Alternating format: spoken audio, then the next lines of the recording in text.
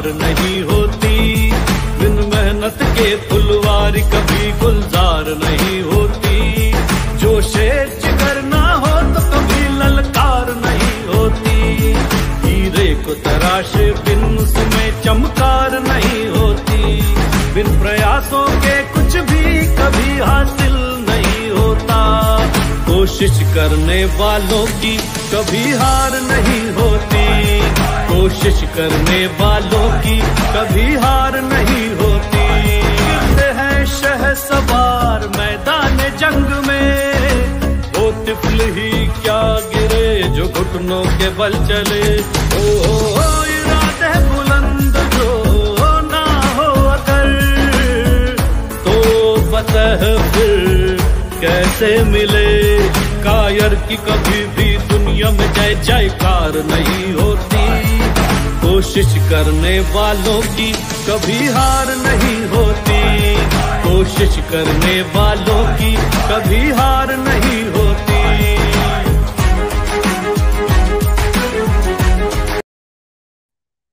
Hi everyone, good evening, नमस्ते, सत आदाब, welcome to the RDD show कोशिश करने वालों की कभी हार नहीं होती और सबसे पहले मैं आप सभी को थैंक यू कहना चाहूँगी द आरडीडी शो कोशिश करने वालों की कभी हार नहीं होती सेवनटीन जून 2020 को मैंने स्टार्ट किया लेकिन ये छोटा सा सफ़र आप लोगों ने मेरा साथ दिया और कहते भी है मैं अकेला ही चला था जाने में मंजिल मगर लोग साथ आते गए और कारवा बनता गया। और सच में आज मैं बहुत ही ब्लेस्ड फील कर रही हूँ। आप लोगों का साथ मिला और आप लोगों ने आरडीडी शो को इतना ऊंचाई तक पहुँचाया। आ, सभी को मैं थैंक यू कहना चाहूँगी और इतनी बड़ी जो मेरी फैमिली बनी आ, मुझे सच में आज बहुत ही अच्छा भी लग रहा है। मैं इमोशनल भी हो रही हूँ क्योंकि मुझे ये पता नहीं था कि मैं इतना कुछ कर पाऊँगी, लेकिन आप लोगों ने मुझे सपोर्ट किया। तो मैं सभी को तह दिल से थैंक यू कहना चाहूँगी। Thank you so much everyone I think आप लोगों की सपोर्ट की वजह से शायद मैं ना कर पाती, लेकिन आप सभी ने मुझे साथ दिया, मेरा साथ दिया और ऐसी ऐसी पर्सनालिटियाँ मेरे बीच जुटती गई। और आज मैं बिलीव नहीं कर पा रही हूँ कि मैंने 525 एपिसोड किए हैं। और इस ग्रैंड सेलिब्रेशन में हमारे बीच आने वाले हैं संगीत के बादशाह पद्म श्री अनूप जलोटा जी और पद्म श्री फयाज वासिफुद्दीन डागर जी। तो दोस्तों, मिलते हैं हमारे आज के आर्टिस्ट से और जानते हैं उनकी जर्नी के बारे में।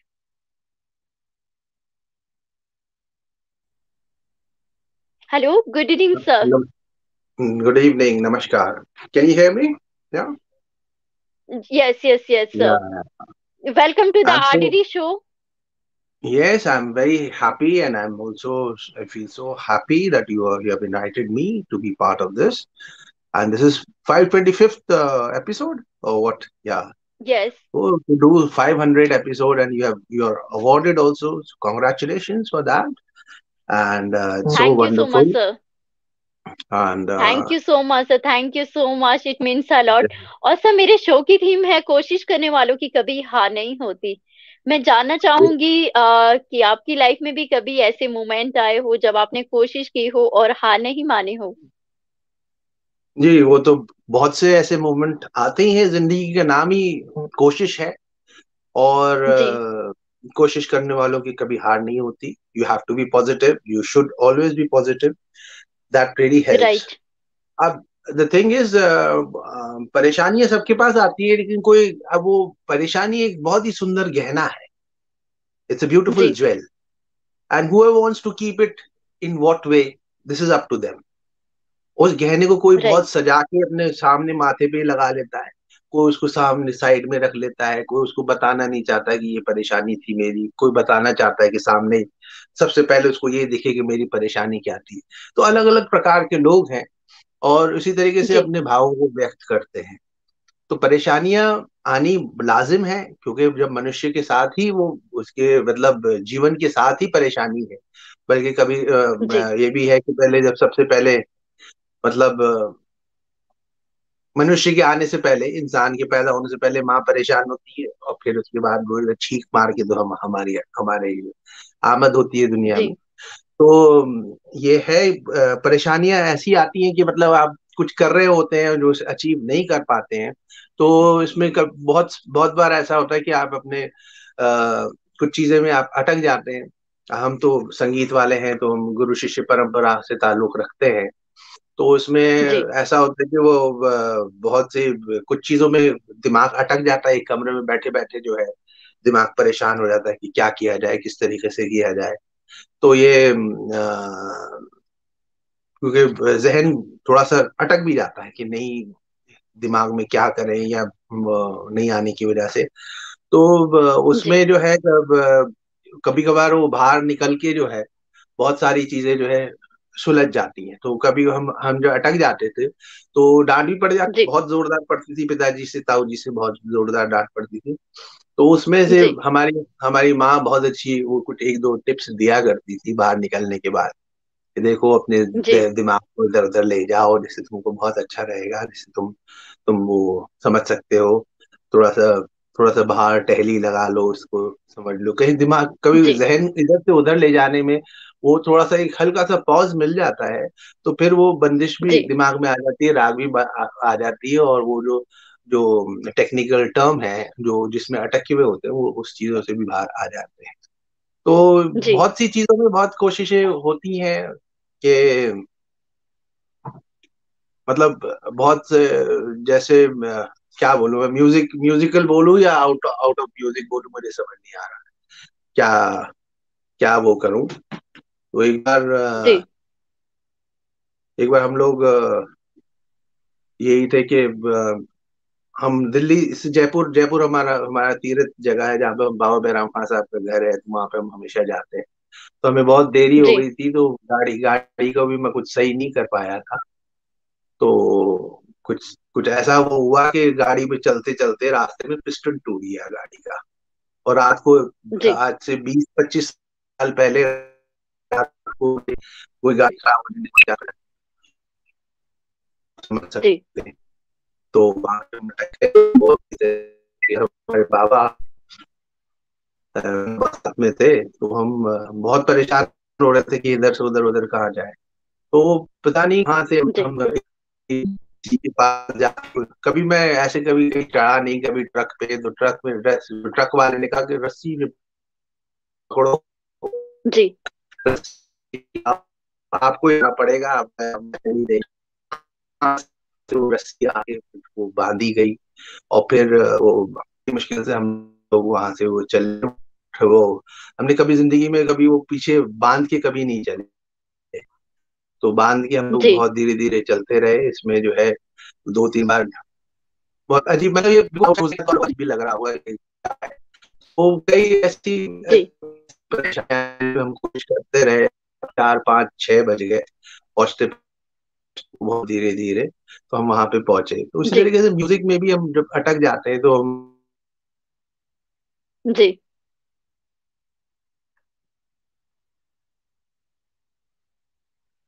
Yes thank you so much everyone singer Khushi Pathak ji thank you so much Prem Sagar Piplani ji thank you so much Ranjana Majumdar ji thank you so much ma'am Om Prakash Yadav ji thank you so much Hariom Jalota ji thank you so much thank you so much everyone जो जो भी हमारे साथ जुड़े हैं, उन सभी को थैंक यू कहना चाहूँगी। Naram Jamal ma'am thank you so much Usha Prakriti ji thank you so much Tanveer ji thank you so much thank you so much every everyone जो जो भी हमारे साथ जुड़े हैं आई थिंक जो ये फाइव हंड्रेड एपिसोड मैंने कंप्लीट किए हैं, ये आप सबकी वजह से, सबको मैं क्रेडिट देना चाहूँगी। Thank you so much everyone आपने इतना साथ दिया और जो ये सफ़र चलता गया, आज मैंने 525 एपिसोड कंप्लीट किए हैं। तो थैंक यू कहना चाहूँगी सभी को। और मुझे लगता है सर के आई थिंक नेटवर्क इशू है और थोड़ी देर में हमारे साथ पद्म श्री अनूप चलोटा जी भी जुड़ने वाले हैं। और ये जो सेलिब्रेशन है ग्रैंड सेलिब्रेशन है, इससे पहले पद्म श्री, हंसराज हंस जी हमारे साथ आने वाले थे, लेकिन उनकी तबीयत खराब होने की वजह से वो जुड़ नहीं पाए। और फिर आज हमारे बीच जो शख्सियत आई है जानी मानी वर्ल्ड की पर्सनालिटी या द्रुपद की बात करें तो डागर घराना आप सभी जानते होंगे। तो आज हम डागर घराना के बारे में भी जानेंगे और द्रुपद के बारे में भी जानेंगे। Sushma Prabhakar ji thank you so much Pragya Sharma ji thank you so much ma'am Jay Ram Shrivastava ji thank you so much every everyone I think ये जो मेरा सफ़र रहा है, ये बहुत ही मैम है। कुछ सीखा है। Thank you so much everyone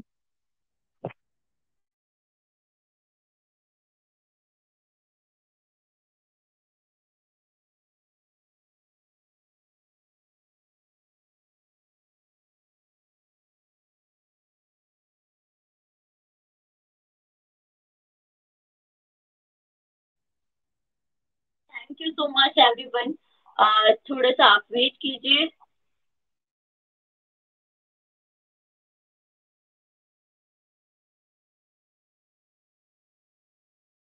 और सबसे पहले मैं थैंक यू कहना चाहूँगी Sanjay Shanglu sir Sanjay Badli sir Nirmal Ved sir Amit Sharad Trivedi sir Avi Sharma Vinita di.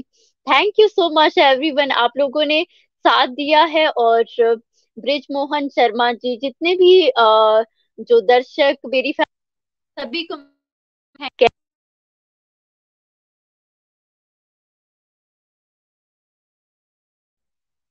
thank you so much everyone I think sir का network issue है.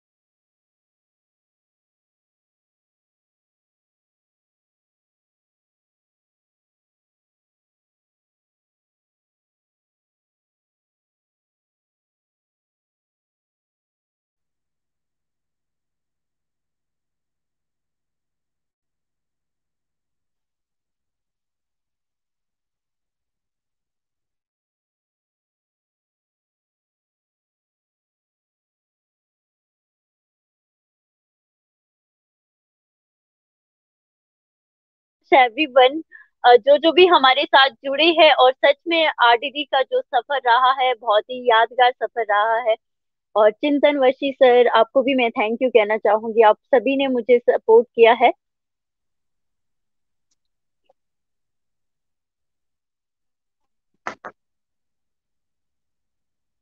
Hello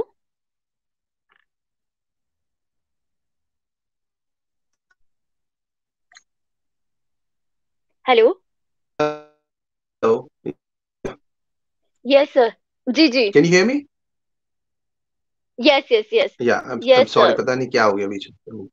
No no it's okay sir it's okay it's okay yes और sir हम आपकी जो journey है उसके बारे में जानना चाहेंगे। सबसे पहले तो डागर घराना के बारे में जानना चाहेंगे सर डागर घराना जी. द्रुपद की एक फैमिली है जिसको द्रुपद गाता है। पूजा एक मतलब जैसे पुजारी जो पूजनीय होता है। और मंदिर मंदिर में पुजारी वो हो जाता है। हमारा मंदिर है और द्रुपद की सेवा करने के लिए हमारा परिवार शुरू से लगा है। परिवार की। तो चार सौ हमारे हमारी हमारे खानदान को। 500 साल सालों से हम लोग संगीत करते ही आ रहे हैं। ध्रुपद प्राचीनतम शैली है भारत की और ये बहुत पहले से इसके ऊपर काम होता आ रहा है। हम हमेशा सब लोग जो है मानसिंह तोमर जी का के ऊपर ही कह देते हैं लेकिन मानसिंह तोमर जी से भी पहले सारंग देव जी ने भी उसके ऊपर काम किया है। और पांचवा वेद जो है भरतनाट्य शास्त्र को माना जाता है। तो हमारे हमारा ऋचाओं सामवेद से ताल्लुक है और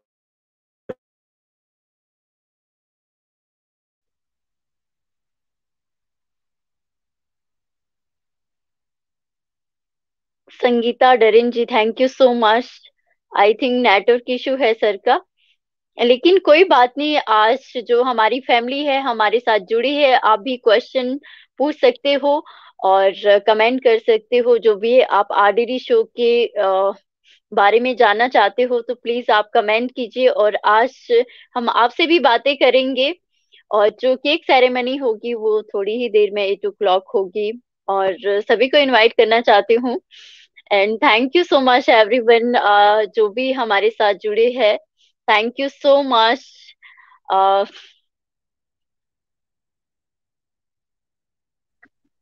तो हमारा परिवार हमारा परिवार 500 साल से सिपही वो है और और भी घराने हैं लेकिन हमारा घराना सबसे पुराना है और हम लोग अलग अलग रजवाड़ों में रहे हैं। हमारे कुछ बुज़ुर्ग हुआ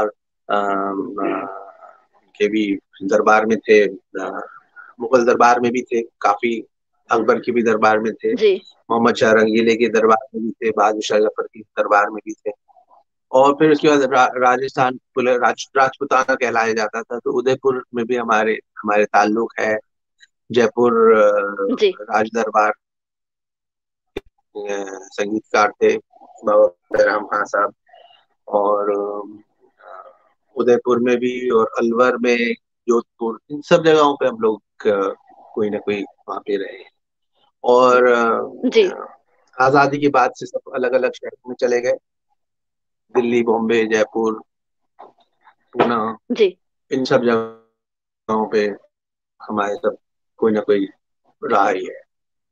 तो हमारी ये बाबा हरिदास स्वामी हरिदास जी के हमारे तानसेन जी हमारे गुरु भाई लगते थे स्वामी हरिदास जी ने उनको सिखाया। हमारे भी वो हमारे गुरु है परम गुरु। और उसी से ही हमको मतलब ये द्रुपद हमारे हमारे शैली आई है। और ध्रुपद जो है सिर्फ़ मतलब आध्यात्मिक भी उसमें ही उतना ही रस है और आत्मा मतलब जो ध्यान का जो एक वो है क्योंकि ओम हम सिख मान के चलते हैं।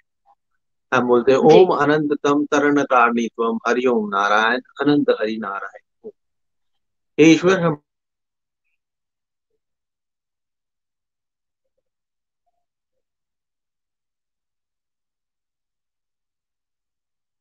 यस मुझे लगता है सर का जो नेटवर्क इशू है आज, अभी Sharma thank you so much thank you so much और हमारे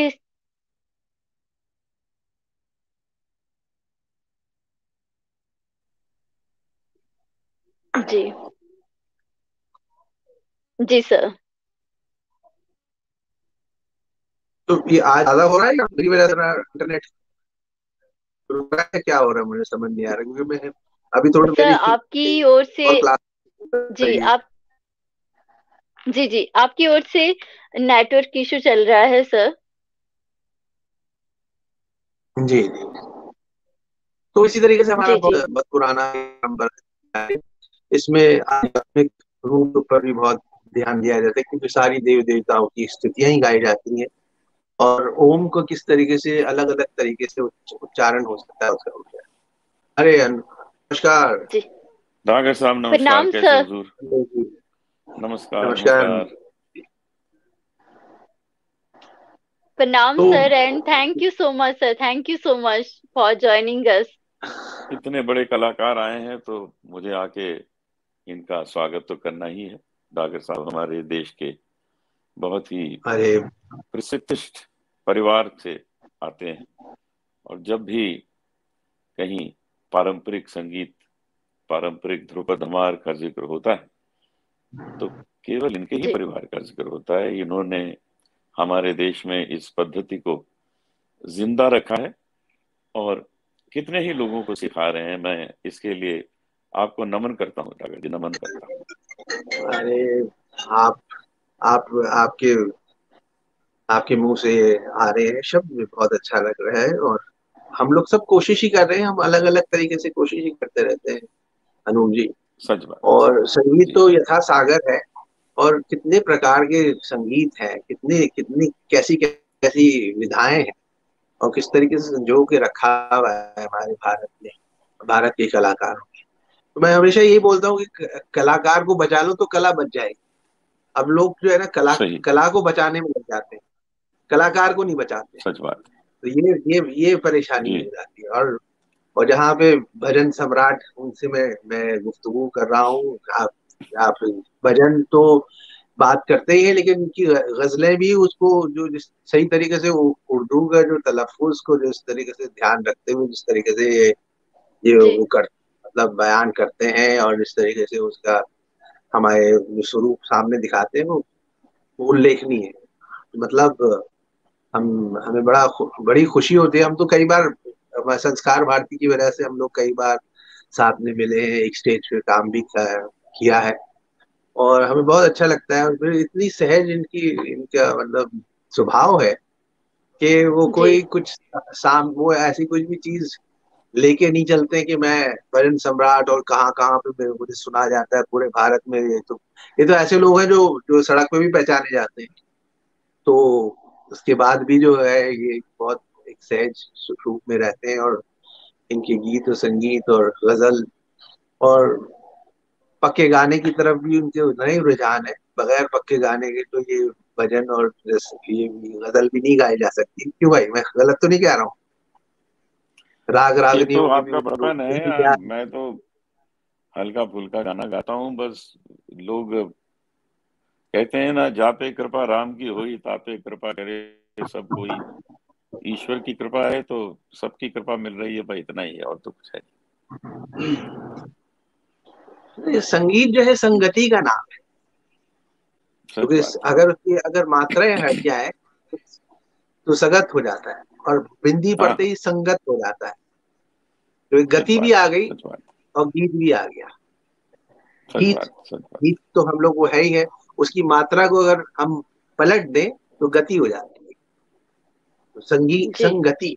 सही। तो वो संगति संगति है ये और उस संगति में हम जितने संगीत जो है हर एक चीज़ को प्रभावित करती है। हमने प, प, हमने जो भी प्रकृति से जो भी कुछ हम ले सकते थे ध्वनियों के द्वारा वो लेके फिर उसके बाद जो सबसे बड़ी प्रकृति की देन क्या है? सबसे बड़ी प्रकृति की देन है मनुष्य के शरीर। जो प्रकृति में है वो मनुष्य की शरीर है। और उसी को ही सब कुछ संभालते हुए उसको उसको आगे वो किया और चार की बीट जो है जिसकी वजह से हम लोग जीवित है तो लय भी है। लय के साथ भी हमारा पूरा का पूरा सब कुछ सृष्टि बनी हुई है। और बगैर लय के जो है संगीत और स्वर को समझा नहीं जा सकता। तो एक बहुत बड़ी एक देन है उसकी। और इसी के साथ ही हम चले जा रहे हैं और हर प्रकार का संगीत मुश्किल है कोई सा भी संगीत आसान नहीं। ये पक्की बात आप लोग सब लोग ये मान के चलिए। ये जब सोच बहुत सारे लोग सोचते हैं कि ये वाला मुश्किल है ये आसान है। हर संगीत मुश्किल है। इसके अंदर आप लोग जब लगते हैं हमको लग, जब जब मेहनत करनी पड़ती है हर एक हर एक गीत के ऊपर उतनी मेहनत करनी पड़ती है। हर एक राग पे हर एक बंदिश पे। हर एक भजन पे हर एक गज़ल पे उतनी मेहनत करनी पड़ती है जिससे वो एक अच्छी निखर के आती है। तो इसी तरीके से आप जो आपका जो टाइटल है आपका जो टाइटल है क्या है टाइटल आपकी इस बात कोशिश करने मतलब, वालों की कभी हार नहीं होती। बस कोशिश करते रहते हैं और कोशिश कर रहे हैं जिसकी वजह से हमें शायद हार नहीं मिल रही है लेकिन हार फिर भी मिलते हैं। हार हार जो है हमें मालाएँ जो है वो भी मिलती है हार हारने वाले को भी माला मिलती है जीतने वाले को भी हार मिलता है और हारने वाले को भी हार है। तो ये दोनों हार जो। है हमारी हमारी भाषा में इतना स्कोप है क्या हम लोग उन्हीं कौन कौन सी चीज़ें हम निकाल पाते हैं? तो कोशिश ही कर रहे हैं और कोशिश करनी चाहिए।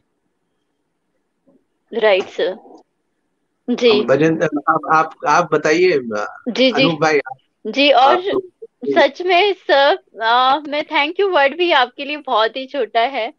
आ, क्योंकि आप इतने डाउन टू अर्थ पर्सनालिटी हो आ, मैं कल की ही बात बताना चाहूँगी। पद्म श्री हंसराज हंस जी हमारे बीच आने वाले थे लेकिन उनकी तबीयत खराब हो गई। और सर की बात करें सच में गॉड के बाद अगर आपका नेम लिया जाए तो आ, मतलब इतने डाउन टू अर्थ पर्सनालिटी जैसे ही मैंने क्योंकि आज इनके इंदौर में शो है back to back two shows फिर भी सर ने हम हमारे लिए टाइम निकाला। सच में सर सलूट टू यू आपको शत शत नमन। आप सच में फ़र्स्ट ऐसे इंसान हो आप इस वर्ल्ड के जिनसे मिली हूँ मैं। और मैं बहुत ही ब्लेस फील करती हूँ सर आपने अभी भी आप शो है अभी एट ओ क्लॉक अभी आपका स्टार्ट होने वाला है। फिर भी आपने टाइम निकाला है सब हमारे लिए ये मतलब मेरे लिए बेस्ट मोमेंट है सर सच में मैं थैंक यू वर्ड भी आपके लिए बहुत कम है सर बहुत बहुत शुभकामनाएँ देता हूँ। बहुत अच्छा कर रही है काम आप। और सम्मानित व्यक्तियों को लाती हैं लोगों से मिलाती हैं। उनका परिचय होता है लोगों से। तो ये बहुत अच्छा काम कर रही है। मैं तो आपके साथ पहले दिन से जुड़ा हूँ। कितनी बार आ चुका हूँ आपके इस चैट में। तो सच में सर थैंक यू वर्ड आपके लिए बहुत ही कम है सर। हम लोग जल्दी मिलेंगे जल्दी मिलेंगे डॉक्टर साहब। किसी मंच पे हम लोग मिल जाएँगे। अनुभव एक बात और भी कहना चाहता हूँ। हमारे संस्कार भारती के अमीर चंद जी का ध्यान तो गया। कल ही हुआ है। वो बहुत हमारे संगीत संगीत जगत में वो कलाकार वैसे प्रैक्टिशनर नहीं थे वो गाते और नहीं थे लेकिन संगीत और कलाकारों के लिए इतने वो पूरा अपने पूरे वो थे कि उनकी आत्मा को शांति मिले यही हमारी प्रार्थना है। प्रार्थना और सब लोग जो भी लोग सुन रहे हैं उनको उनके सच में बहुत बड़ी क्षति है ये कि वो यही मतलब कलाकारों के बहुत बड़े रिप्रेजेंटेटिव हमारे हाथ चले गए। जी। बहुत जी परमात्मा की आत्मा को शांति जी और सर से मैं एक लाइन ऐसी लागी लगन की सुनना चाहूँगी सर अगर एक लाइन आप सुनाएँ तो।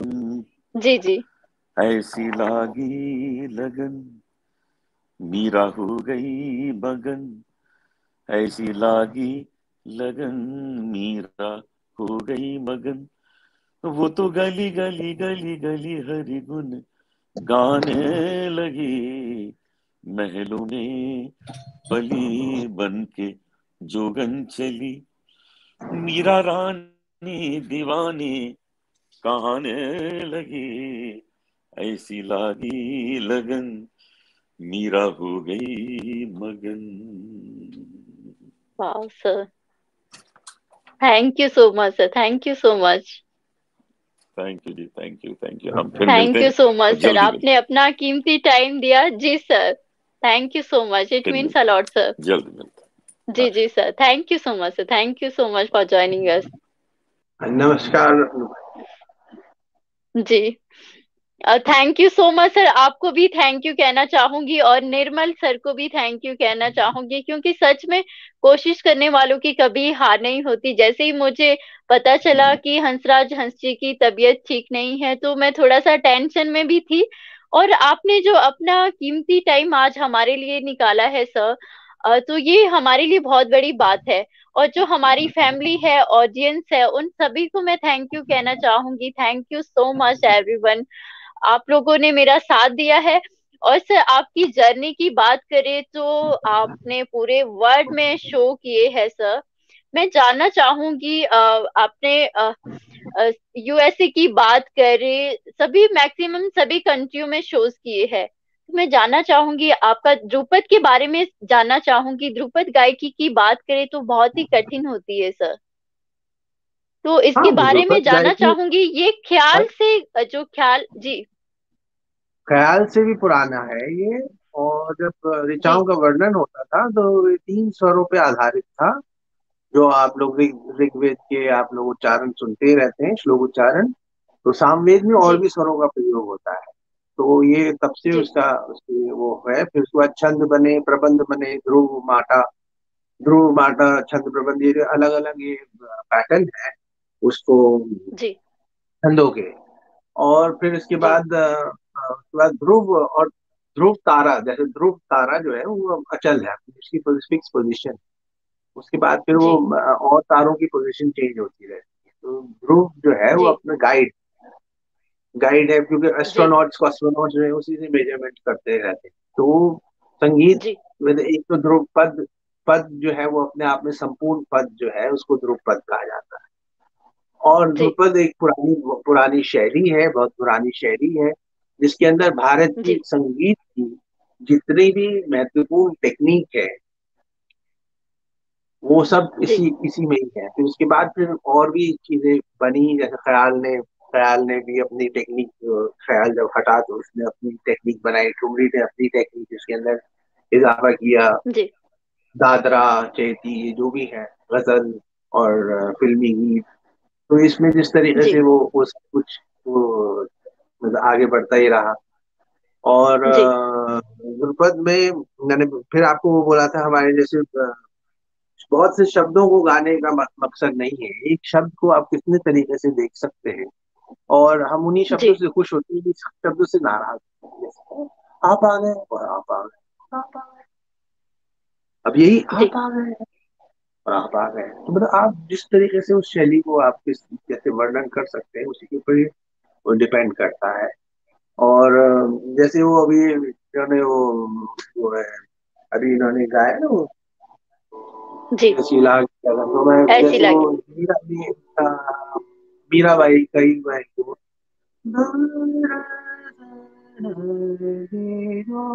आ प्यारे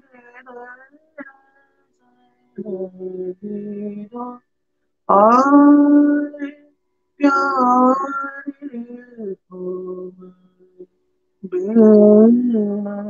रयो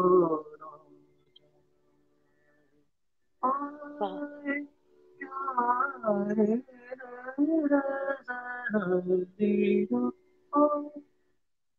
जल बीण चंद्र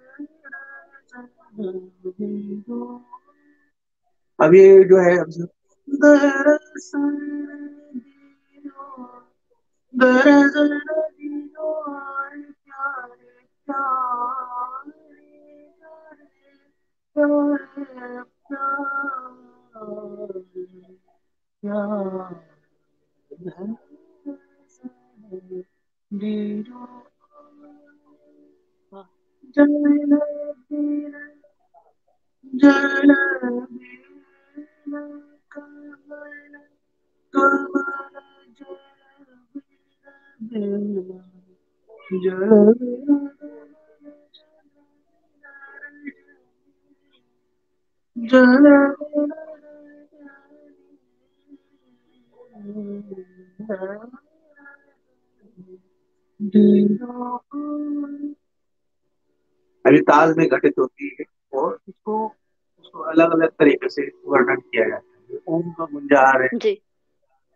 ओम।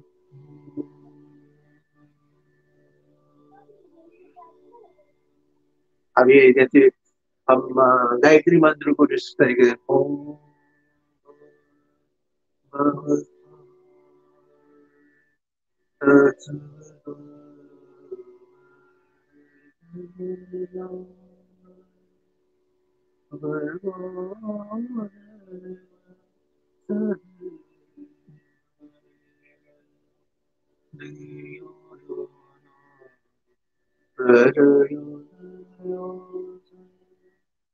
ओम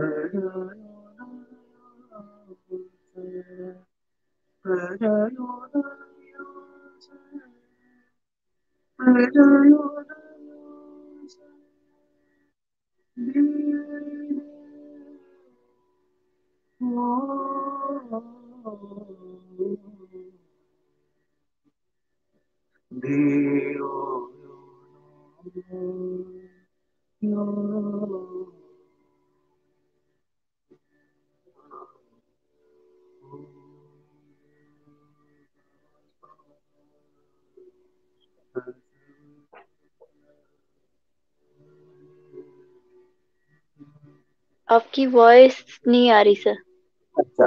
थोड़ा जी। थोड़ा सा कट हो रही है सर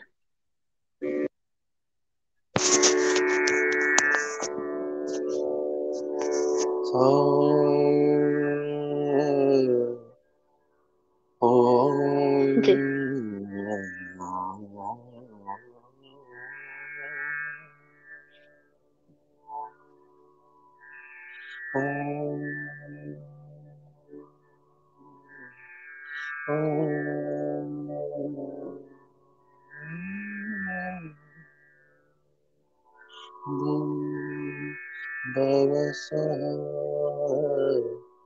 तत्सवितु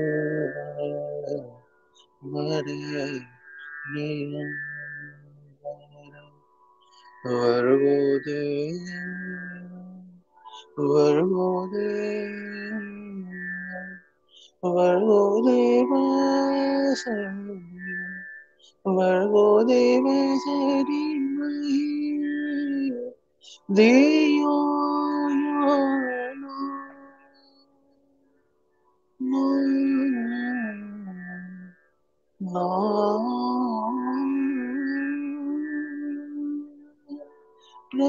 지요 내여 어서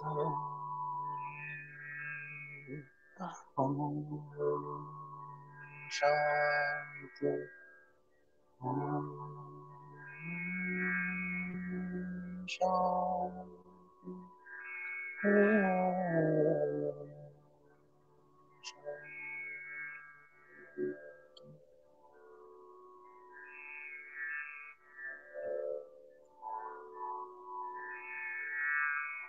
तो इस तरीके से हम लोग का हमारा दृष्टिकोण थोड़ा सा अलग है। दृष्टिकोण डिफरेंट तरीके से देखते हैं। तो इसी अलग अलग रस है संगीत के। करुणा रस है वीर रस है शांत रस है। उसको उसका ही बयान किया जाता है। शुद्ध वाणी शुद्ध उच्चारण को किस तरीके से वो किया जा सकता है। लेकिन मेनली तो ओम ही है। ओम ही जिससे सृष्टि रची गई है। ओम ही वो ध्वनि है जो बिग बैंग जिसको बोलते हैं। तो ये वही उसी से ही ये रचा गया है पूरी सृष्टि रची गई है। तो इसीलिए ध्यान ध्यान माध्यम ध्यान क्या है? जो अपने आप मतलब वैसे तो लोग ध्यान के लिए जो है कहते हैं कि दो दो सोच के बीच में एक जो अंतर अंतराल है उसको ध्यान कहा जाता है। एक सोच जिसमें आप हैं एक सोच के बाद जो दूसरी सोच आई उसके बीच में जो एक अंतराल है उसको ध्यान कहा जाता है। तो हम एक क्षण को इन क्षण को नापना बड़ा मुश्किल है समय को नापा जा सकता है। जी। क्षण को नापना बड़ा मुश्किल है। तो ये ये संगीत और ये विधाएँ जो है ये वो क्षण आपको देती हैं जिसमें आप अपने आप को भूल जाए।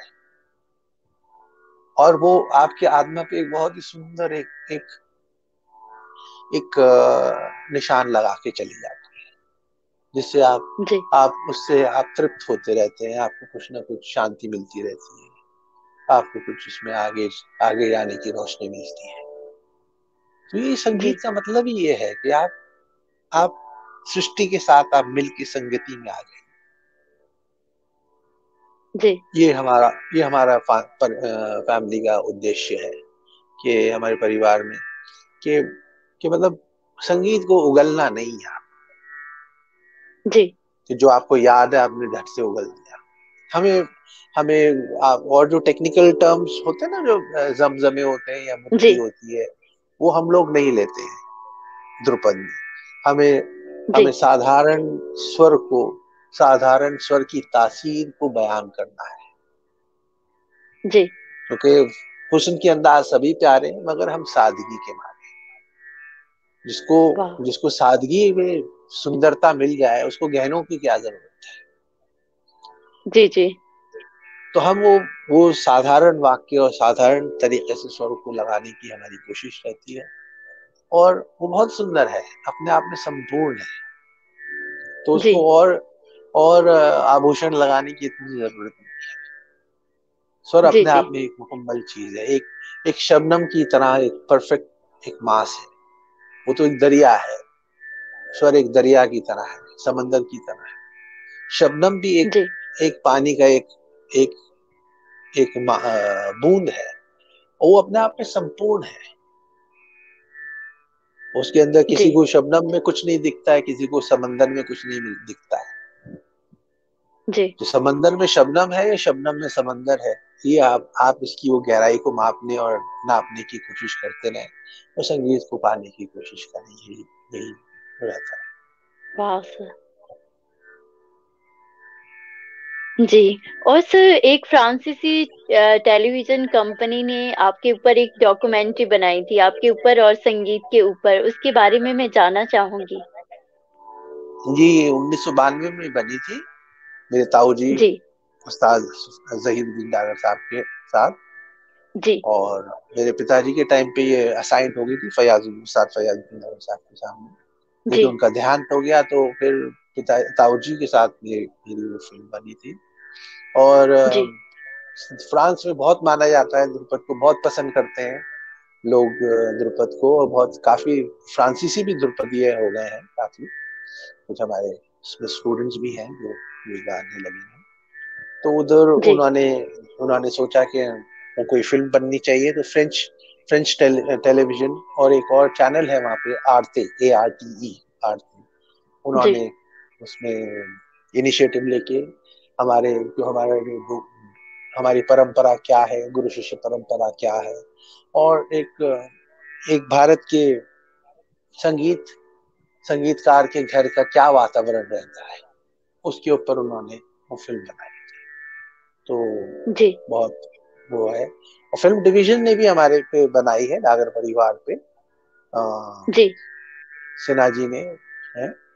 उन्होंने अरविंद सिन्हा नाम है। उन्होंने पहले भी एक शॉर्ट फ़िल्म बनाई थी उसके बाद फ़िल्म डिवीज़न में भी डागर परिवार पे फ़िल्म बनी है। तो इसमें अलग अलग खानदान के अलग अलग जो गुरु हैं गुरु रहे उस टाइम के। जी। काफ़ी लोग उसके अंदर उसको दिखाए वाह सर और सर आपकी पहली बड़ी रिकॉर्डिंग नाइन्टी टू में हुई थी स्विट्जरलैंड एंड भारत और जापान में। जी। वो 89 में हुई थी। एटी नाइन में पिताजी के देहांत के बाद मैं गया था वहाँ पे ताऊ जी के साथ ही गया था। जी।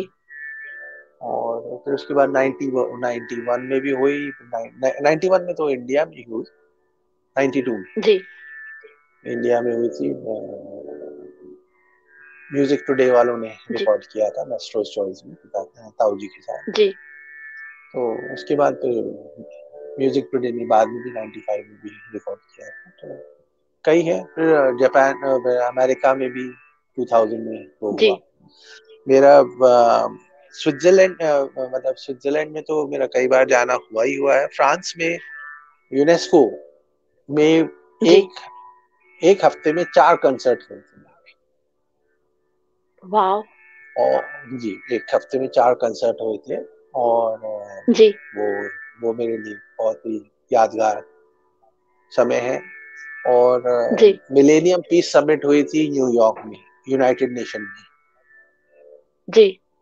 जिसमें सारे सारी दुनिया के गुरु धर्म गुरु वहाँ पे इकट्ठे हुए थे। जनरल असेंबली यूनाइटेड नेशन में। और पाँच कलाकार दुनिया में से चुने गए थे। उन पाँच में से एक मैं भी हूँ जिसको जनरल परफॉर्म करने के के लिए मेरे को मुझे आमंत्रित था।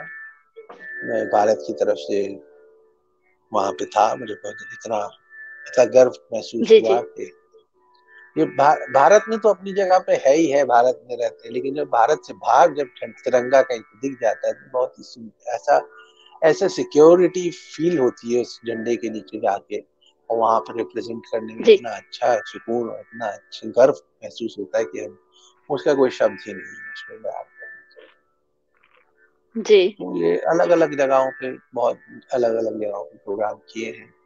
भारत में तो किए ही और ऐसी जगहों पे किए लेकिन जो मंदिरों में जो कार्यक्रम होते हैं वो उसका एक अलग ही अनुभव होता है। क्योंकि पहले जो पहले पुराने पहले जो है वो ऑडियंस पीछे बैठा करती थी और हम हम स्वयं मंदिर में सामने बैठ के प्रस्तुति देते देते थे। ऑडियंस पीछे बैठती थी।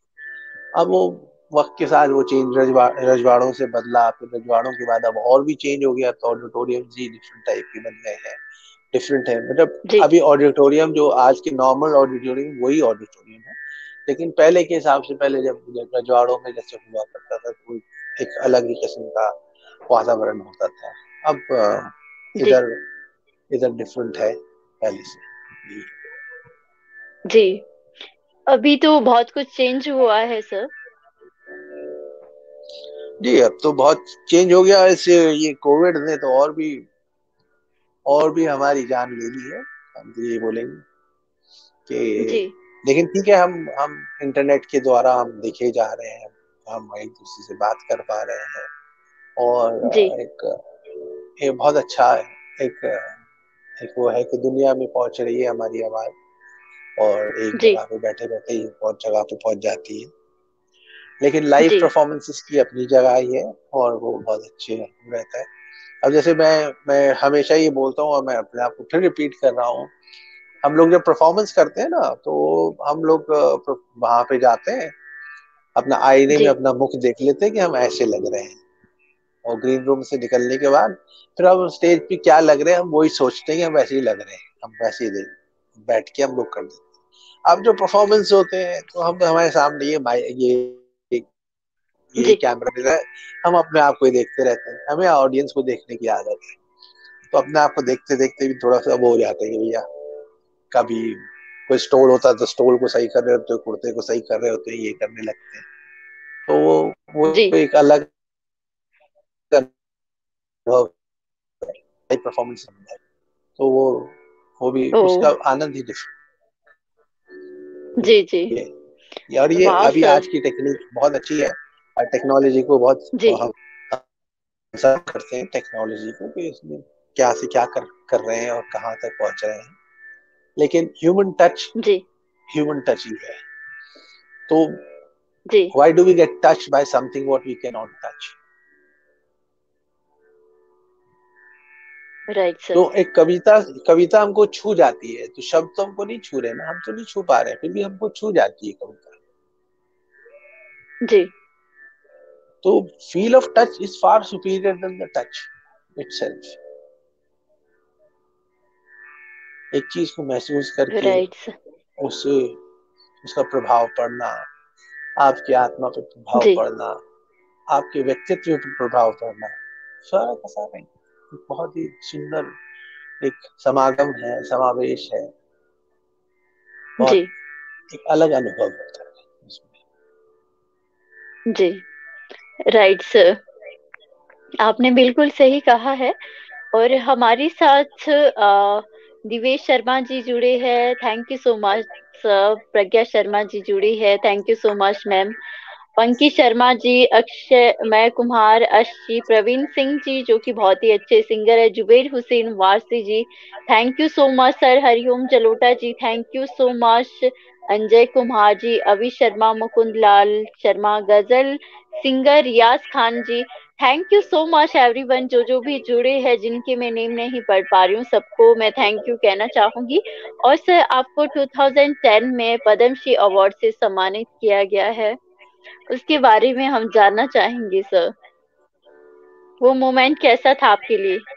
बहुत ही बहुत ही सरप्राइजिंग मोमेंट था। और कृपा ईश्वर की, परमात्मा की कि ये ऐसा हो गया मेरे साथ। मुझे, और मैं बहुत आभारी हूँ जिन्होंने मेरा नाम उसमें रिकमेंड किया। असल में जब ये, इनका जब ये पद्मा अवार्ड का जब रिकमेंडेशन होता है ना, और जब वो इंक्वायरी जब बैठती है तो होम होम अफेयर से वो फ़ोन आता है। तो मैं सिखा रहा था, सिखाते सिखाते मुझे फ़ोन आया। फ़ोन आने का कह रहे अभी होम अफेयर से फ़ोन है होम सेक्रेटरी बात कर रही मेरी तो हालत खराब हो गई, क्या हो गया पता नहीं, क्या परेशानी होगी, क्या वो है? तो वही कह आप यहीं पे रहते हैं यही आपका घर है ये है? जी। मैं यहीं पे रहता हूँ। मैं बहुत दिनों से यहीं पे रहता हूँ। मैं यही यही संगीत के लिए मैं सेवा कर रहा हूँ अच्छा आप यहीं पे रहते हैं? अच्छा ठीक। है फिर गए सर बात करेंगे सेक्रेटरी साहब बात करेंगे। सेक्रेटरी साहब का भी फ़ोन है आप यहीं पे रहते हैं? आपके क्या कैसे हैं? सबको मैंने कहा जी मैं ठीक हूँ मैंने मैं बहुत घबरा गया। मैं सिखा रहा था मेरे को भूल गया मैं सिखाना भी मैंने कहा होम अफेयर से क्यों फ़ोन आ गया? क्या हुआ? तो फिर मैंने कहा सर मैं डरते डरते पूछा सर ये किस चीज़ के लिए हो रहा है? Don't worry don't worry we are just inquiring for the Padma award so don't तो उतनी देर में कोई कोई एसीपी साहब भी आ गए उधर। यहाँ का भी जो थाना है उधर के जो एसीपी है वो उन्होंने भी आके इंक्वायर किया सब जगह से पूछा जा लेकिन मैं उस टाइम में तो मैं घबरा गया था। और मेरी माँ और मेरे से भी ज़्यादा घबरा गई कि क्या हो गया क्यों फ़ोन आ रहा है उनका क्या हो क्या हो तो एक देखिए वो एक अलग ही अनुभव है हम लोग को। तो वैसे कई बार हम लोग राष्ट्रपति भवन जाते ही हैं और बहुत ही सुंदर एक अनुभव है। और बहुत सुंदर बात ये है कि वहाँ पे ना वो जब आप रिसीव करते हैं अवार्ड तो उस टाइम प्रतिभा पाटिल जी थी उस टाइम तो वो बहुत ही साधारण तरीके से जो है राष्ट्रपति जी जो बोलती है आप उधर देख ली सारे तस्वीर आपकी अच्छी आ जाएगी। तो मतलब वो दे themselves direct you that you look that side so it will be good. तो इससे मतलब बहुत अच्छा अच्छा लगा क्योंकि हम लोग इतना वो वो होता है कि अवार्ड लेने के लिए जा रहे राष्ट्रपति बड़े बड़े साधारण तरीके से मैंने प्लीज राइट की तरफ देखिए की तस्वीर के लिए जी so it was a nice nice experience in that that way also so oh. it's an honor it's a big honor it's a huge honor for me and i i hope that i should be deserving and uh, i hope in coming time i can get little better oh wow sir Great sir और शास्त्रीय संगीत की बात करें तो इस कला को बनाए रखने और समृद्ध करने में डागर परिवार का बहुत बड़ा योगदान है सर क्योंकि कहीं ना कहीं ध्रुपद की बात करें तो वो लुप्त होता जा रहा था लेकिन आप लोगों ने इस परंपरा को कायम रखा। सच में आपकी पूरी फैमिली को शत शत नमन सर और आज सच में हम भी बहुत ही गौरवान्वित महसूस जी। कि पूजा जो है वो ध्रुपद की है। हम एक पुजारी हैं। पुजारी पूजनीय होती है। पूजा पूजनीय होता है। लेकिन पुजारी की पूजी पूजा नहीं होती है। तो हम ध्रुपद के लिए समर्पित हैं। अब उसकी मर्ज़ी हमको जो देना चाहे वो दे। जहाँ तक देना चाहे वो दे। और नहीं देना चाहे तो वो नहीं दे। तो हम तो आराधना के स्वरूप करते हैं। परमात्मा को जब जो। देना होता है वो देता है। सब लोग कोशिश कर रहे हैं मैंने पहले भी बोला कि हर आदमी जिन लोगों के आप नाम लिए कितने यहाँ पे गज़ल सिंगर हैं कितने आर्टिस्ट हैं वो सारे के सारे आपके इसमें आपके दर्शक हैं वो देख रहे हैं। वो सब अपनी अपनी जगह पे बहुत बड़ा काम कर रहे हैं। वो सब अपनी अपनी जगह पे कर रहे हैं और कोशिश यही है कि हमारी भारत की जो सभ्यता है वो कायम दायम है अखंडता है वो कायम दायम है हम भारतीय किसी एक चीज़ के लिए नहीं हम भारतीय इसलिए हैं कि हमारा भारत एक महान देश है। इसकी विरासत अतुलनीय है। कोई इसको मेजर नहीं कर सकता। दुनिया में किसी के पास इतना इतना विराट सांस्कृतिक विभाग नहीं है इतना विराट हमारे पास है। तो एक एक कॉन्टिनेंट में इतनी सारी चीज़ें होती हैं। हमारे इस, इस इस क्षेत्र में ही इतनी सा उन उन जगहों से ज़्यादा है। तो भारत की तुलना विश्व से या पूरे संसार से जी। बहुत अतुलनीय है। बहुत हमारे हमारे बहुत बहुत हमारा मन बहुत वो होता है। हम कुछ हम कुछ कर ले देश के लिए कुछ करें यही हमारी हमारी इच्छा है। लोगों को ये रहता है कि देश हमारे लिए कुछ करे लेकिन हम देश के लिए कुछ कर तो बहुत अच्छा वाह सर। ग्रेट। और सर वेस्टर्न म्यूज़िक के बारे में आपका क्या कहना है? वेस्टर्न म्यूज़िक अपने आप में उनका अपने जो म्यूज़िक है वो वो अच्छा है। जो दुनिया में जो उनको अच्छा जो उनका संगीत है जो उनके स्टाइल है उसके हिसाब से वो अच्छा है वो अपना ठीक है। अब एक संगीत अच्छा एक संगीत बुरा हम ये कि मैं कहना नहीं पसंद करता। उससे भी लोग आनंद आनंद ले रहे हैं। अब वो कुछ ना कुछ रॉक म्यूज़िक में कुछ ना कुछ तो इतने सारे लोगों को मिल ही रहा होगा ना कि घंटों वो नाचते रहते हैं उछलते रहते कूदते रहते गाते रहते हैं। उनके साथ ऑडियंस भी उतना वो करती रहती है। कुछ तो आनंद मिल ही रहा है ना। तो ठीक है उनको वो आनंद मिल रहा है। लेकिन हम ये सात्विक आनंद वाले लोग हैं जिसमें हम लोग हम लोग का आनंद आनंद का डिस्क्रिप्शन ही अलग है एंटरटेनमेंट का डिस्क्रिप्शन ही अलग है। लोग सोचते हैं एंटरटेनमेंट एंटरटेनमेंट का मतलब फ्रीक आउट का मतलब नहीं है। एंटरटेनमेंट का itself it says enter let it enter first अंदर तो जाने दो पहले उसको।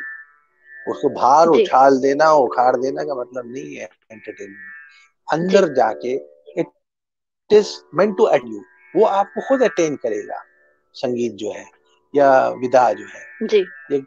किसी प्रकार की भी चीज़ जिससे आप आनंद उठाना चाहते हो। तो एंटरटेनमेंट का मतलब ये है let it enter first it is meant to attain you आपको वो खुद खुद वो करेगी।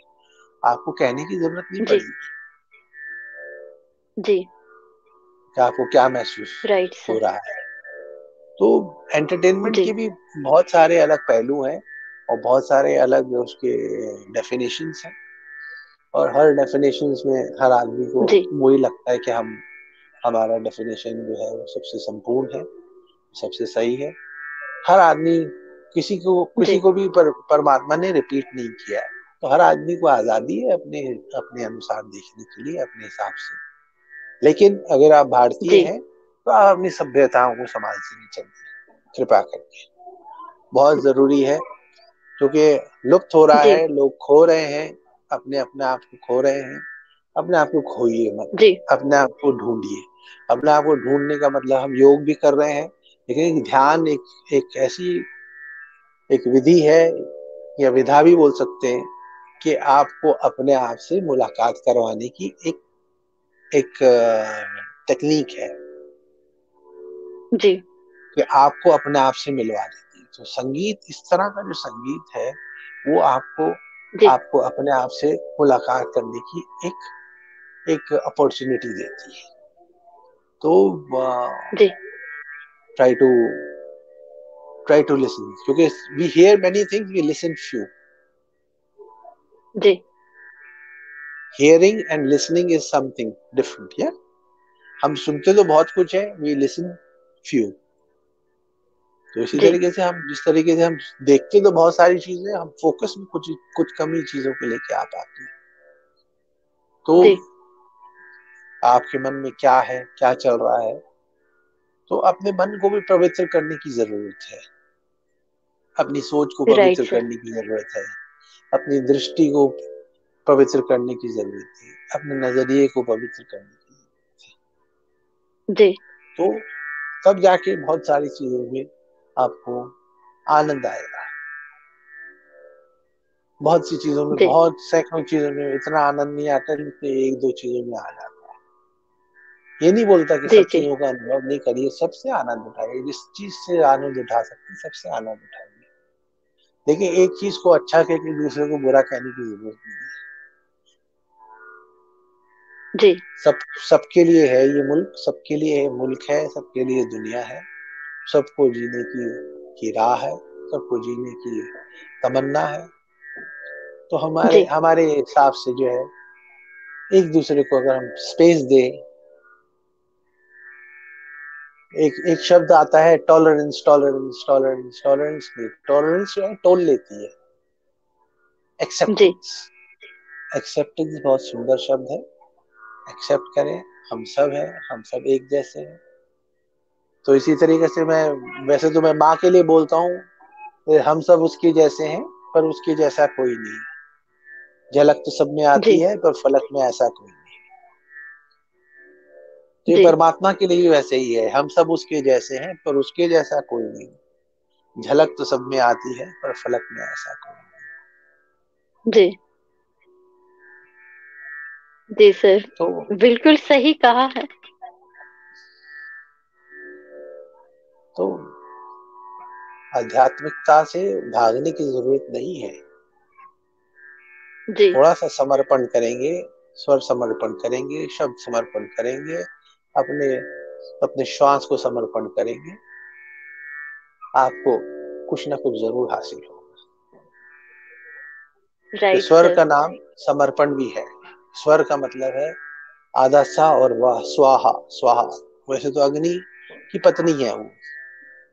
स्वाहा। लेकिन असल में वो वो समर्पण है। समिधा भी सा से है स्वर भी सा से सरस्वती भी सा से संगीत भी सा है संबोधन भी सा है स्वच्छ भी सा से स्वर्ग भी सा से स्वर्ण भी सा से श्वास भी सा से है कितनी सारी चीज़ें स्वरूप भी सा से है कितनी सारी चीज़ें होगी अब आपको बहुत सारी सुगंध भी सा से है सारांश भी सा से संस्कृति भी सा से संस्कार भी सा से सूर्य भी सांस है सूक्ष्म भी सांस है कितनी सारी चीज़ें सांस है। हर राग में सा ज़रूर होता है। अपने सा को खोजने की ज़रूरत है। स्वयं को खोजने की ज़रूरत है।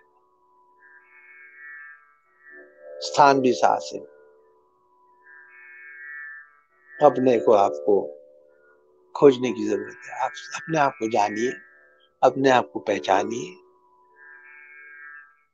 और अपने आप को पहचान के दुनिया में अपनी पहचान बढ़ाइए और दुनिया में पहचान अपनी, क्योंकि हर एक आदमी अपने आप में नुमाया है।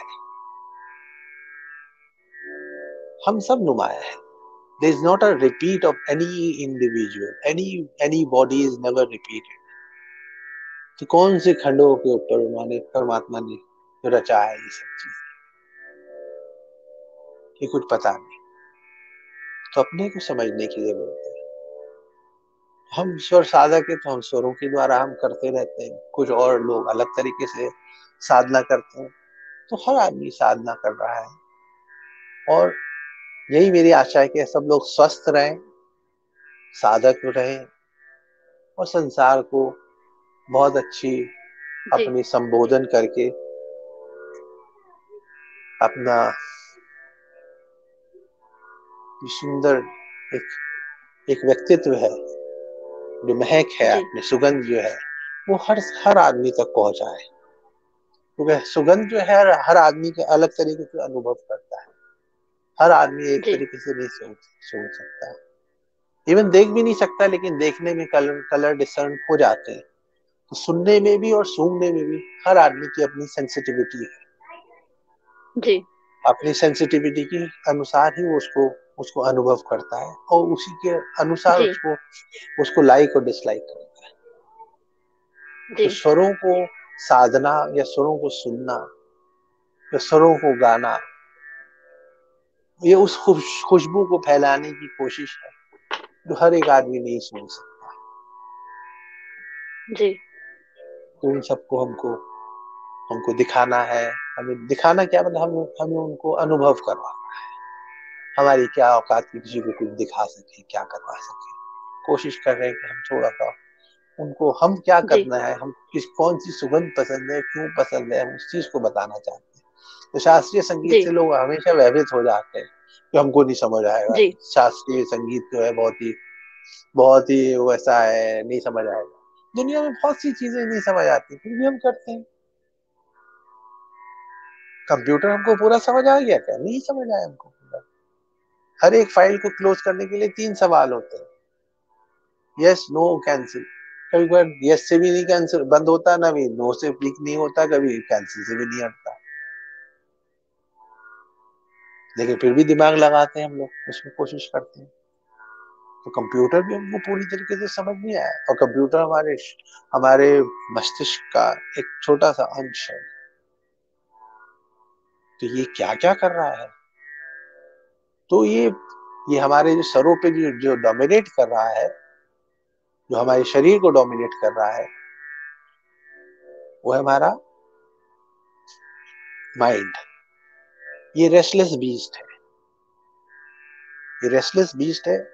ये आठ से थोड़ा सा काबू में आता है. संगीत द्वारा काबू में थोड़ा बहुत आता है. थोड़ी देर के लिए वी कैन टेम इट क्योंकि दिमाग का काम ही है कि सोचना। हर वक्त सोचता रहता है। उसको उसको अब जिसके ऊपर वो डोमिनेट कर रहा है, शरीर के ऊपर डोमिनेट कर रहा है, उसको उसको बचाना है। तो we find the logic logic उसको चाहिए। एक सेकंड में उसको लॉजिक मिल जाती है कि मैंने ये क्यों किया, इसलिए किया, ये क्यों किया, ये नहीं किया।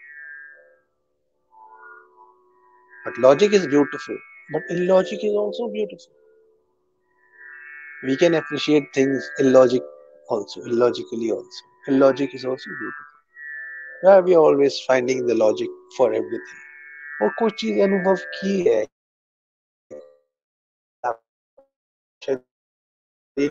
लगा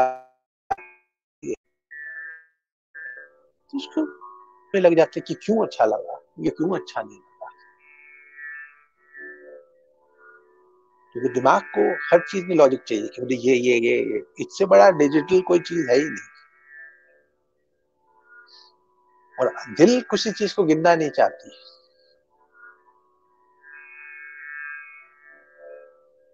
Heart doesn't like to count anything. दिल और आत्मा की सुनना बहुत ज़रूरी है। दिल और दिमाग के बीच में आत्मा है। जो आत्मा जिस चीज़ को कहे, उसी को मानिए तो आत्मा माइंड ब्लोइंग म्यूज़िक नहीं चाहिए। हमें mind blowing performance mind blowing music soul touching music होना चाहिए। सोल टचिंग परफॉर्मेंस होना चाहिए। अब सोल टचिंग का मतलब सब चीज़ too too slow down doesn't mean that it is it is वो वो वो ही सब कुछ है। Even if you are in rhythm if you are in balance rhythm it's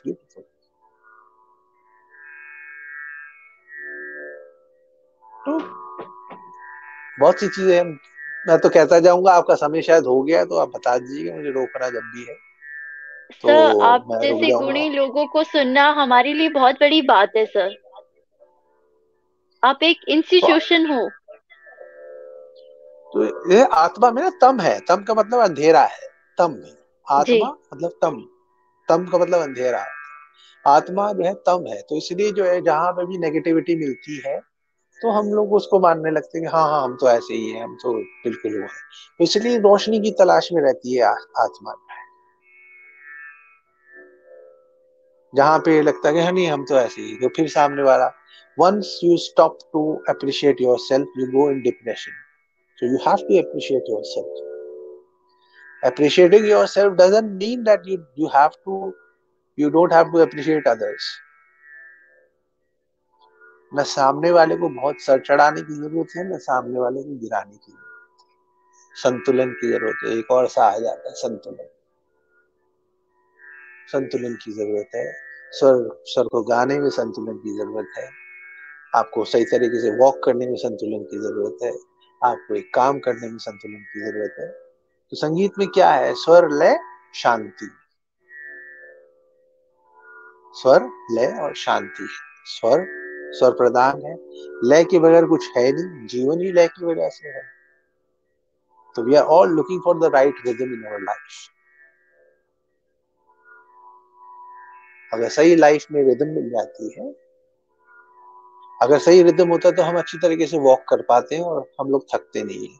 सही रिदम होती है तो हम आर्टिकल कितने अच्छे आर्टिकल लिख लेते हैं, कोई हाथ जहन में चलते, आते चले आते इसी जगह सही रिदम होती है तो किसी कोई कोई शो में आपके पास इतने अच्छे शब्द जो हैं सीधे सीधे निकलते चले आए, निकलते चले आए। कोई कोई ऐसा दिन भी होता है कि आपको शब्द खोजने पड़ते कि मैं क्या बोलूँ, क्या नहीं बोलूँ, किस तरीके से?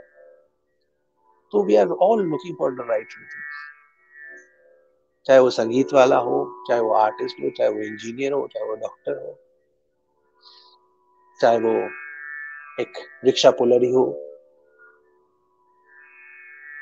तो हर एक आदमी के पास एक फलसफा है एक फिलोसफी है उसकी लाइफ के। लिए बी इट रिक्शा पुलर एक रिक्शा चलाने वाला हो, चाहे वो एक बस ड्राइवर हो, चाहे वो एक मिनिस्टर हो, चाहे वो एक इंजीनियर हो, चाहे एक संगीतकार हो, या जो भी कुछ हो।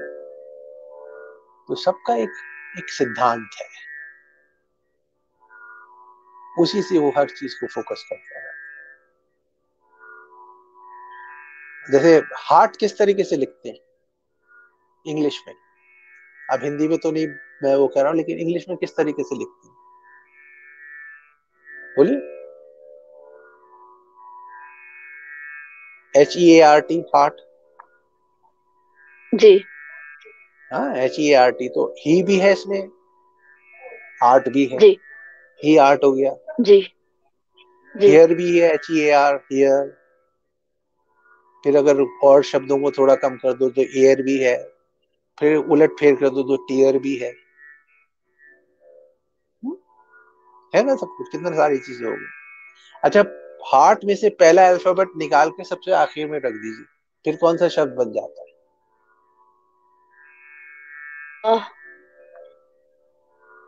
हार्ट में से? एच सबसे पहला एच हटा के पीछे सबसे लास्ट में लगा दीजिए तो क्या क्या हो जाएगा? Earth A R T H earth most compassionate element. वाह सर हार्ट क्यों इतना कंपैशनेट है? क्योंकि वो अर्थ के साथ उसकी उसकी चीज़ें मिली हुई जी।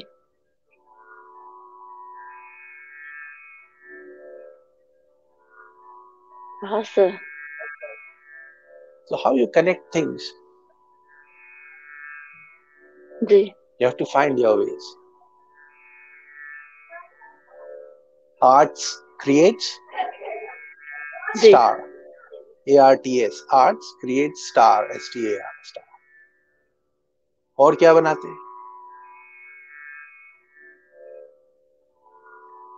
रैट्स भी तो बनाते हैं ना जी। तो we can go on go on with these these type of things. तो इसी तरीके से अलग अलग तरीके से भावों को व्यक्त किया जाता है। अब शिव को किस तरीके से पुकारो? शिव को तांडव चाहिए शिव को तो शिव को तांडव चाहिए। शिव को शांत रूप चाहिए तो शिव को शांत रूप चाहिए।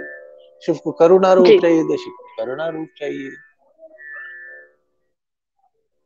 श्री कृष्ण को श्री राम को क्या चाहिए? माता भवानी को क्या चाहिए?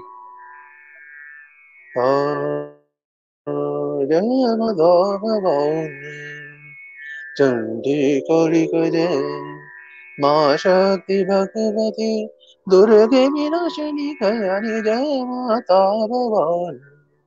चंडी काली जय माँ शक्ति भगवती। अब ये ना ये बिल्कुल उनका जो वैसा विराट रूप है।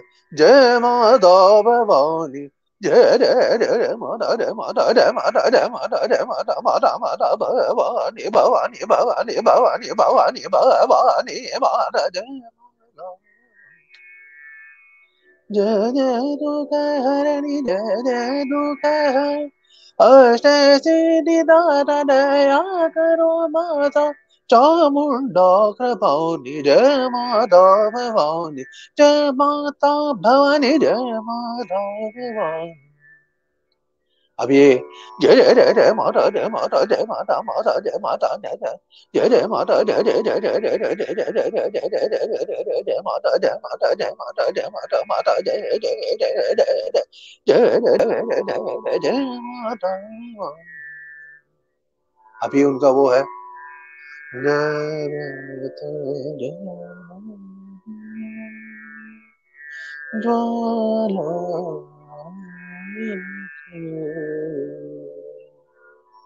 माता सरस्वती शारदा वेदा आदि।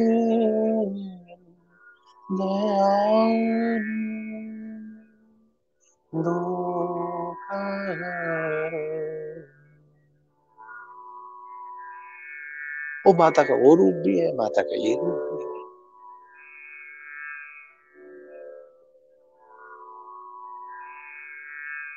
अब जिस जिस तरीके से आप, आपका जो भाव है, जो आपके अंदर, जो आपके अंदर जो क्या चल रहा है, उसके अनुसार ही सब कुछ वो वही रिफ्लेक्शन जो है वो आप दिखा पाते दिखाना चाहिए। जी।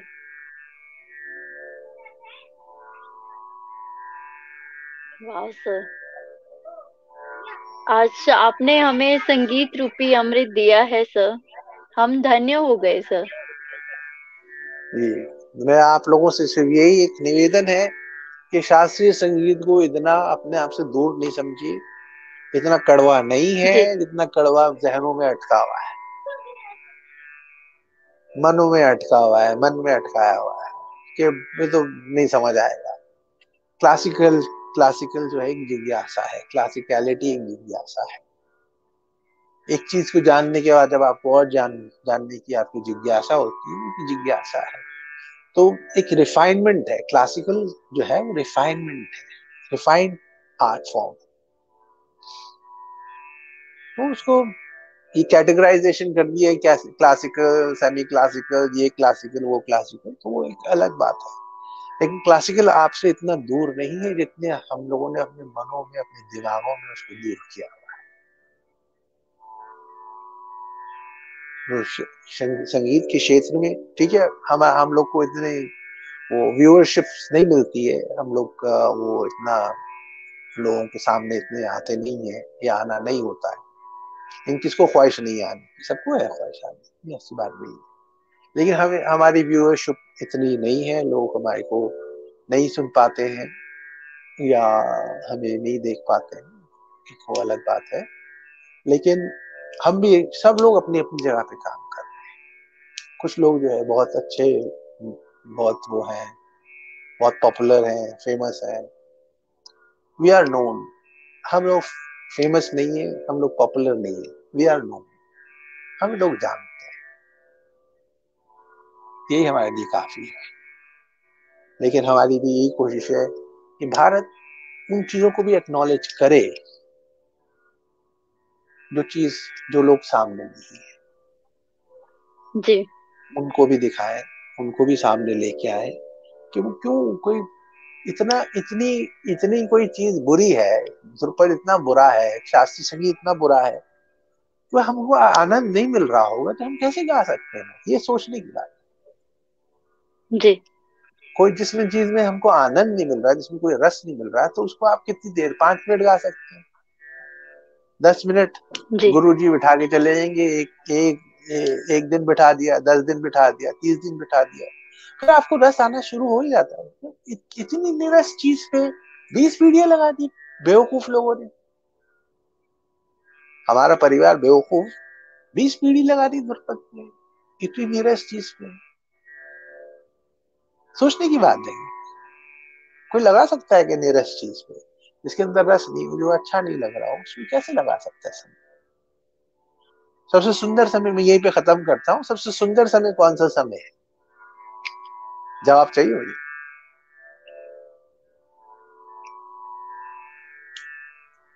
जी। बताइए। सबसे सुंदर समय कौन सा समय? किसी को कोई अगर है अभी तक लोग कुछ सुन रहे हैं या चले गए चले गए? यस मैं ऑडियंस से भी कहना चाहूँगी हाँ तो सबसे सुंदर समय कौन सा समय यस कमेंट कर सकती हूँ। जी सबसे सुंदर समय तो मैं वही आ, कहना चाहूँगी जो कि हमारी पीढ़िया जो आप लोगों ने इतना अच्छा म्यूज़िक बनाया था जो परंपरा को आगे बढ़ाया वही समय। नहीं कुछ और अच्छा था कोई और बताओ।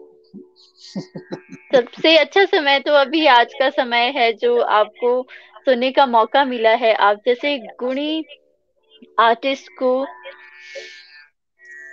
जिन्होंने हाँ, इस परंपरा शास्त्रीय संगीत की परंपरा को अभी तक कायम रखा है। यही हमारे लिए सबसे अच्छा समय है सर। अभी की मैं बात करूँगी।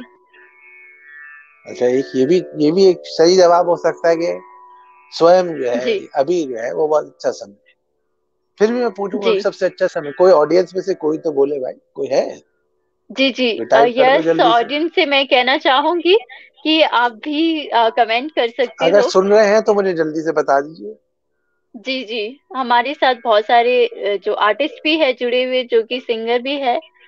ब्रिजमोहन शर्मा जी बहुत ही अच्छे सिंगर है। घनश्याम शर्मा जी जुड़े हैं जो कि एक टीचर है। Thank you so much everyone और प्रज्ञा शर्मा जी नहीं आप लोग सब लोग म्यूज़िक टीचर्स हैं आप लोग क्या है? जी टीचर है प्रज्ञा शर्मा जी की बात करी तो बहुत। जी हम्म। और उनका आंसर भी आ गया है जो उन्होंने कमेंट किया present time is the best time जी। अच्छा ये। आप लोग सब लोग म्यूजिशियंस हैं मैंने आप लोग तो सब अच्छा बहुत अलग अलग प्रकार के गाने गाते होंगे पता नहीं मेरी बात कैसी लग रही है सही भी लग रही है नहीं लग रही है। बात दूसरी है लेकिन सबसे सुंदर समय वो समय है। जी। सबसे सुंदर समय वो समय है जब समय का ही आभास नहीं ओ। और जब हम कुछ काम कर रहे होते हैं उसके अंदर इतने लीन हो जाते हैं हमें सब पता ही नहीं चलता कि समय कितना है कितना बीत गया और वो समय कितनी देर का भी हो चाहे वो कुछ सेकंड्स का हो या कुछ घंटे का हो या एक घंटे का हो तीस मिनट का हो कितनी देर का भी। हो उसकी खूबसूरती उस उस उस क्षण की ये होती है उस के वो आपके आपके जो आत्मा में एक बहुत ही सुंदर एक एक मार्ग छोड़ के चला जाता है। और आपकी एनर्जी जो है आपकी थकन और सब कुछ को दूर कर देता घंटों सुनने के बाद, घंटों बैठे रहने के बाद भी आपके आपके अंदर ऊर्जा उसी तरीके से आपकी चलती रहती है। उसी तरीके से आप ऊर्जा तो वो सबसे सुंदर समय है जब आपको समय ही आवाज़ तो संगीत आपको उन उन क्षणों पर लेके चला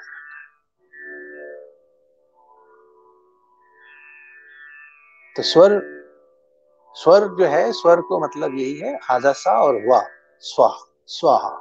समिधा भी सा से समिधा उठा के हम अग्नि में डालते हैं। स्वाहा स्वाहा। और आधा सा हटा दो तो क्या रह जाता है? स्वर में आधा सा हटा दो तो क्या रह जाता है? वर बूंद आपकी इच्छा मेरे में नहीं पूरी हो रही मेरी इच्छा आप में नहीं पूरी हो रही। हर आदमी की इच्छा उसमें पूरी हो रही है। जो वो वर मांग रहा है तो उसका वर पूरा हो रहा है। हमारे ऊपर डिपेंड करता है हम क्या मांग रहे हैं उससे परमात्मा से। जी। तो स्वर के जो साधक हैं स्वर के जो उपासक हैं वो जब साधना करते हैं तो स्वर स्वर भी फिर उनको उनको आशीर्वाद देता है। उनको वर मिलता है उसके ऊपर डिपेंड करता है कि हम क्या मांगे ले जी। वो तो यथा सागर है। समंदर में से कोई भी लहर खाली नहीं आती, कुछ ना कुछ लेके ही आती है। एक एक लहर खाली नहीं आती। चाहे कूड़ा ही लेके आए? या कुछ भी लेके आ जाए खाली नहीं आती।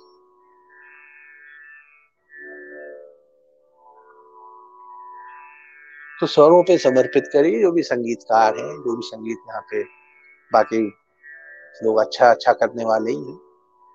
हम भी एक, एक तुच्छ कलाकार हैं जो अपनी अपनी तरीके से कोशिश करते हैं कि हमारी भी हमारी भी साधनाएँ और लोगों तक पहुँच जाए। तो सबसे सुंदर समय वो समय है समय का याद आ और समय कभी भी आ सकता है।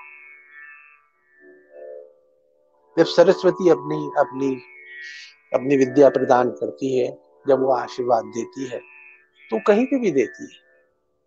फिर आप ये नहीं खोजिए कि आपको अपने रूम में जाना है जहाँ पे संगीत कर रहे हैं वहीं पे ही आपको जवाब मिलेगा या आपको कहीं पे जवाब मिलेगा ये जगह सही नहीं है यहाँ पे मेरे को कैसे दर्शन हो सकते? परमात्मा तो हर जगह पे है कहीं भी, दर्शन दे सकता है। परमात्मा हर जगह पे दर्शन दे सकता है तो माँ सरस्वती भी कहीं भी आपकी आपकी आप में विद्या डाल सकती है। किसी और की कौन से गीत में से आपको कौन सी आपकी प्रेरणा मिल सकती है? आपका वहाँ पे प्रॉब्लम सॉल्व हो सकता है।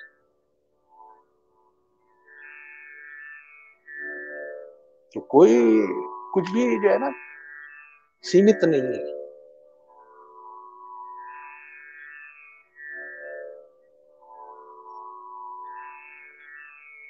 तो इसी तरीके से मैं आपको बहुत बहुत शुभकामनाएँ देता हूँ। तो मैं तो बोलता रहूँ कितनी देर डेढ़ कितनी देर होगी मुझे पता नहीं। लेकिन बस ये है। आप इसी तरीके से आप और भी कार्यक्रम करते रहिए और भी आपको पुरस्कार मिले और एक हज़ार जब आपका ये एपिसोड होगा तो हमें याद कर लीजिएगा या जैसे भी हो। तो और लोगों को भी उसको भी और उसका भी बड़ा बड़ा स्वरूप में लेके जाए। आप पूरा हमारा शुभकामनाएँ हैं और सबको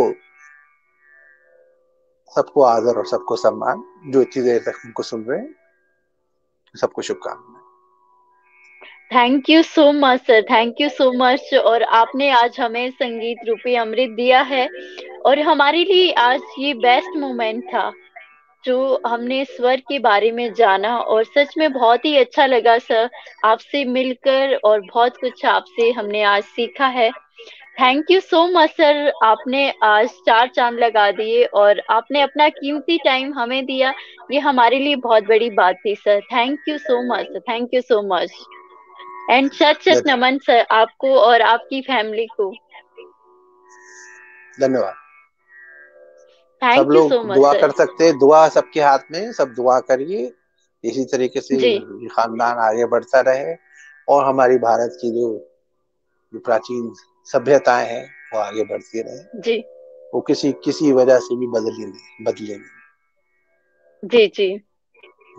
Thank you so much sir thank you so much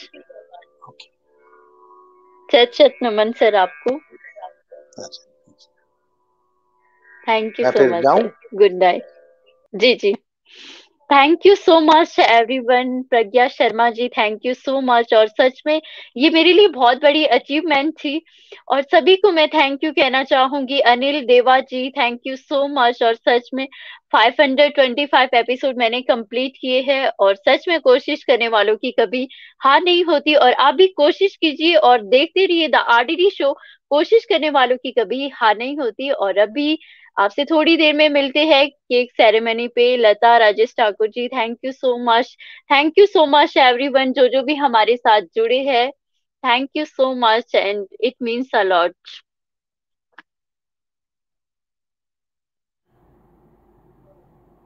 कोशिश करने वालों की कभी हार नहीं होती। रिज शर्मा जी, अभिनंदन। आपने 500 एपिसोड इस खूबसूरत प्रोग्राम का कंप्लीट किया। दसरा की शुभकामनाएँ आपको और आपके शो को, आपके सभी परिवार को और सब आपके पार्टिसिपेंट के परिवार को बहुत बहुत प्यार। कंग्रेचुलेशंस और जैकी दादा को भी मैं थैंक यू कहना चाहूँगी। शिल्पी सैनी मैम को भी थैंक यू कहना चाहूँगी। Thank you so much ma'am और thank you so much Jackie दादा, आपने मुझे ब्लेसिंग दी। ये मेरे लिए बहुत ही बड़ा अचीवमेंट थी, बहुत ही बड़ी अचीवमेंट थी, क्योंकि लेजेंडरी जो हमारे देश के लेजेंडरी एक्टर है, उन्होंने विश किया ये आरडीडी शो के लिए और आरडीडी शो की फैमिली के लिए बहुत बड़ी अचीवमेंट थी। Thank you so much everyone जिन लोगों ने भी मुझे सम्मानित किया है, चाहे वर्ल्ड रिकॉर्ड हो, चाहे नेशनल रिकॉर्ड हो, चाहे ब्लिसफुल इंडिया हो। सभी को साहित्य देव अवार्ड हो एंड बॉलीवुड का अवार्ड हो काफ़ी अवार्ड्स मिले हैं मुझे इस शो के लिए। सभी को मैं थैंक यू कहना चाहूँगी। आप लोगों ने मेरे काम को सराहा और मुझे सपोर्ट किया। Uh, सबसे पहले निर्मल सर को मैं थैंक यू कहना चाहूँगी। अमित शरद द्विवेदी अवि शर्मा अभिनेता दी सभी को थैंक यू और जो मेरी फैमिली जुड़ी है ब्रिजमोहन सर प्रज्ञा शर्मा जी uh, सभी को thank you Anil Deva ji thank you so much everyone thank you so much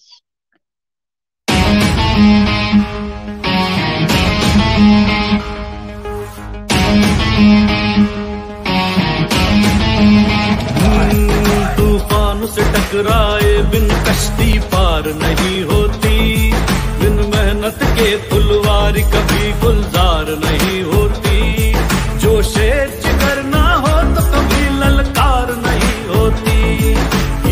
को तराशे, बिन उसमें चमकार नहीं होती। बिन प्रयासों के कुछ भी कभी हासिल नहीं होता। कोशिश करने वालों की कभी हार नहीं होती। कोशिश करने वालों की कभी हार नहीं होती। है शह सवार मैदान घुटनों के बल चले। ओ, ओ ओ इरादे बुलंद जो ना हो अगर तो बतह फिर कैसे मिले? कायर की कभी भी दुनिया में जय जयकार नहीं होती। कोशिश करने वालों की कभी हार नहीं होती। कोशिश करने वालों की कभी हार नहीं होती।